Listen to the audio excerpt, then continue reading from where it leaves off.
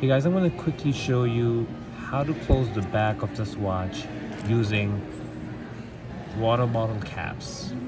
Look, it's very easy. If you have the back off, just pop it on.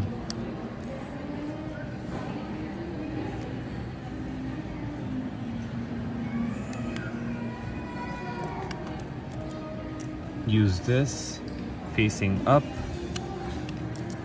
Push push the watch right on top here. Right? Make sure it's leveled on both sides.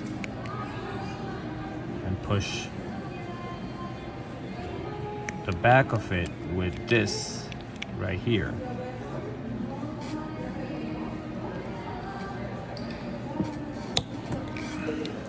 And it's on. No tools required.